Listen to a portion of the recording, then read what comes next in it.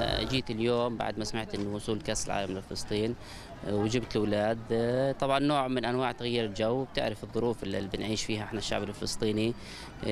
فالأولاد بيحتاجوا لهيك شيء بدهم تغيير جو.